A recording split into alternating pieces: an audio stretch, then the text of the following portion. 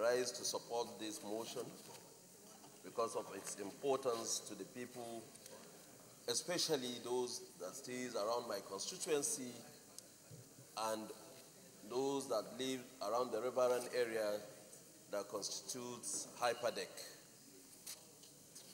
There have been serious issues of flood, just as the mover of this motion mentioned. There have been serious issues of flood, which has caused serious damages and destruction within our communities. They have been living in fear, year in, year out, due to lack of necessary things that will take care of the frequent flooding whenever the dams release the, whenever there is overflow from the release the dams usually do, especially during the rainy season. HYPADEC communities have suffered so much of the degradation due to the construction of the hydro dams that have been taking, have been, have been going on in these areas, like the Zungeru, the Shiroro, the Kainji, and others. There have been lack of employment for the youth around that area, which now has been causing agitation. There has always, almost been a time that these youth around this area wanted to take arms and refused the generation of power in this country.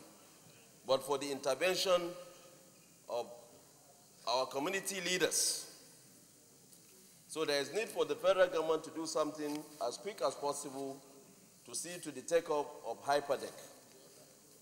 Another very important thing that need to be done after taking up is to fund HYPADEC.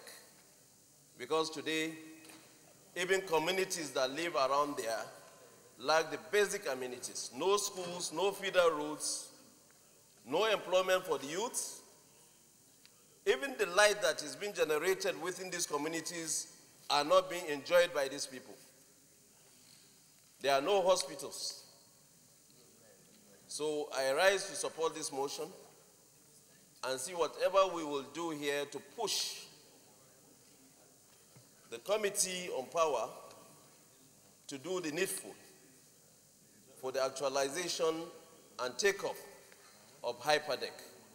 Already Niger State government have done very well for HYPADEC. They have, when the headquarters is going there, they have even given them an office.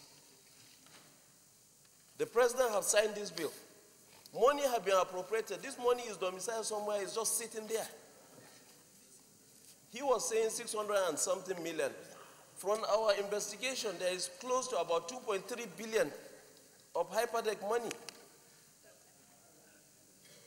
in the office of the secretary to the government of the federation.